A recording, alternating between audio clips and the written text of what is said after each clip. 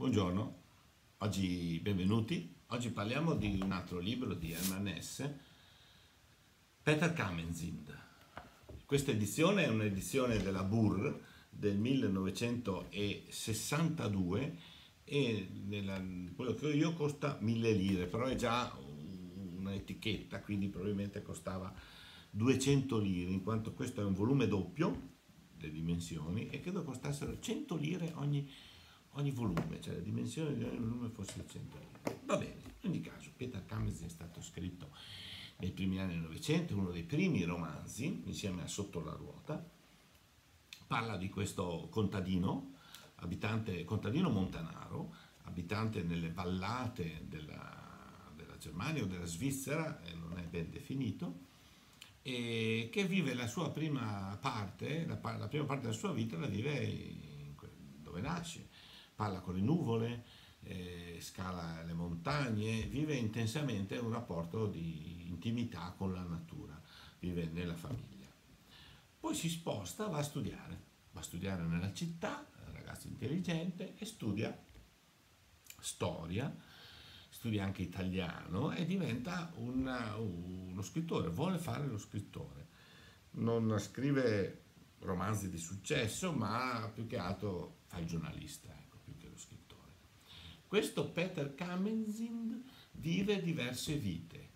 La vita nella, da studente, abbiamo naturalmente la vita da bambino, la vita da studente, vive alcuni anni a Zurigo, poi si sposta, vive alcuni anni a Parigi e di lì non vuole raccontare nulla, si vergogna in qualche modo, vive molte vite in situazioni diverse, vive anche un periodo eh, probabilmente per lui il più bello in, in Italia, in Umbria, si innamora di, di alcune donne, eh, l'amore non corrisposto. Diciamo che in questo romanzo abbiamo, come nei successivi e anche sin dall'inizio, questi contrasti tra l'arte, tra la natura, tra la città, la campagna, la cultura, la tecnica, eccetera. No? E queste contraddizioni come si, si, si evidenziano in questo romanzo, no? attraverso la eh, contrapposizione di diversi periodi della vita.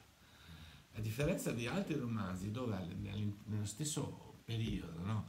in modo sincrono, si, si, combattono eh, cose diverse, qui questa, questa diversità, questo contrasto si attua separando le parti finali.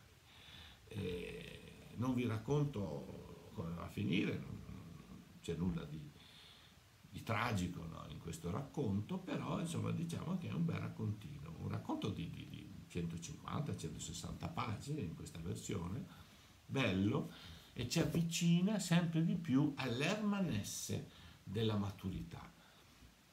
L'Ermanesse che scriverà i libri che sono diventati più famosi che gli hanno, e che gli hanno anche dato il successo eh, nel mondo occidentale. La prefazione del libro, che io vi sconsiglio di leggere prima del libro, parla un po' questa, della penetrazione di questo autore, una penetrazione che è venuta abbastanza in ritardo nel mondo, nel mondo occidentale, ma di questo argomento io non vorrei parlarvi. Quindi non so dove venga pubblicato adesso, ma credo che sia abbastanza, eh, si possa reperire facilmente l'edizione attuale eh, però ve lo consiglio, è bello, vi immerge a volte in alcune descrizioni di, di, della campagna, soprattutto delle montagne, molto molto molto belle. E naturalmente siamo in una fase, come vi ho già detto in un altro libro, romantica, no? quindi Hermann Hesse fa parte, eh, non voglio classificarlo, ma il romanticismo è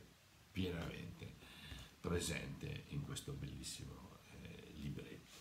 Una cosa interessante che ho notato, così un riferimento, no, un riferimento, un collegamento a qualcos'altro, ad un certo punto dice, ciò nonostante era stato assai più piacevole osservare le nuvole e le onde che studiare gli uomini, ma così con stupore che l'uomo si distingue dal resto della natura soprattutto per una viscida gelatina di menzogne.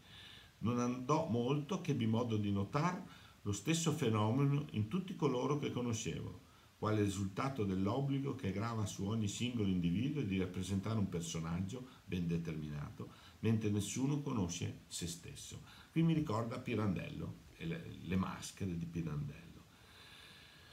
Poi più avanti dice lo potei rilevare anche in me, ricavandone una strana sensazione e rinunziai a penetrare nell'intimo degli altri. Quindi quando si accorge di questo contrasto, poi lui se ne va, Abbiamo, sappiamo che se ne va.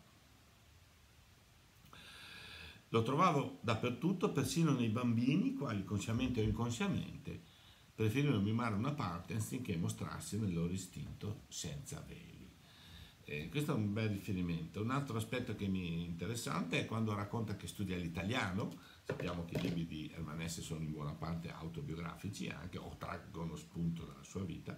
Studia l'italiano e poco dopo Hermanesse pubblicherà un librettino, di cui magari parleremo, dedicato a Francesco d'Assisi che lui ammira tanto. Bene, concludo consigliandovi senza dubbio la lettura di questo libro, Peter Kamenzin, Hermann S. Alla prossima.